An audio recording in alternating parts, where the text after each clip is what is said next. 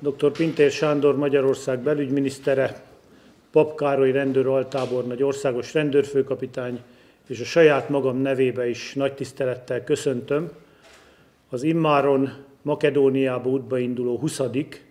és Szerbiába útba induló 14. rendőri kontingens induló delegációját.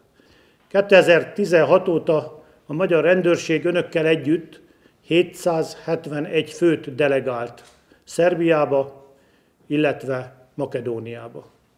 771 rendőrt, akik vállalták ennek a küldetésnek a veszélyeit, vállalták ennek a küldetésnek a nehézségeit.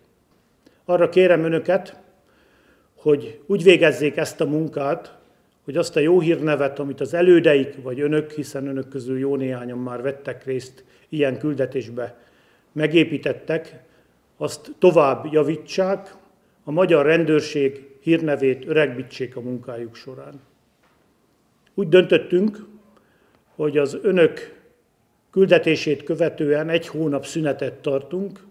Azt szeretnénk, hogy valamennyi magyar rendőr kollégánk a karácsonyt, a béke és a szeretet ünnepét a családja körébe, a szerettei körébe tölthesse, ezért majd 2018. januárjába indul következő delegáció, és ahogy mondtam, 2018-ban Makedónia segítségét egész évben fenn fogjuk tartani. Kívánok a munkájukhoz sok sikert, jó erőt, egészséget, az utazáshoz balesetmentes közlekedést.